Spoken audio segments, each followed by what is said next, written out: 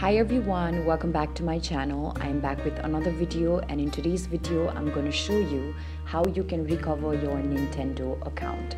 So if you had created your Nintendo account but somehow forgot its password but now want to retrieve all the data and information associated to that account and want to use the account again, stick with me till the end of this video to find out how you can recover your account. So for this, first of all, head over to your web browser and then go to nintendo.com.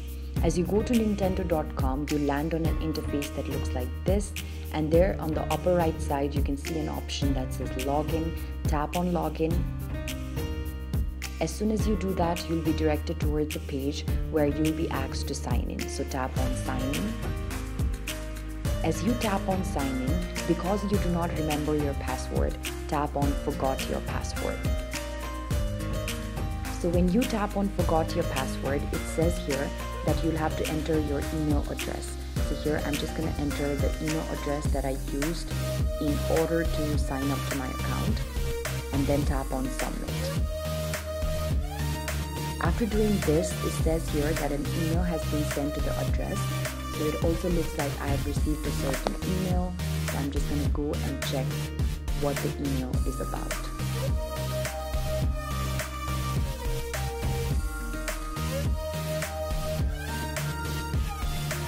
Here I've been sent a URL, so I'm just going to tap on it and then open it via Chrome. And as I do that, here I'll be able to now reset my password. So here it says, please enter your date of birth or nickname to confirm your identity. So I'm more comfortable with my nickname, so I'm just gonna type in my nickname because I do remember my nickname. And then tap on submit and after doing this now I can enter a new password. So I'm just going to enter a new password real quickly.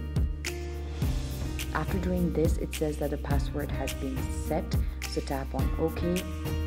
And as you tap on OK you will be able to log into your account which means that your account recovery has been successful.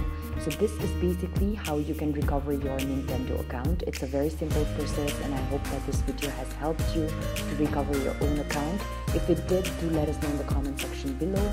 So like the video if you like the video and also do share and subscribe to App Guide. Thank you for watching. I'll see you around next time.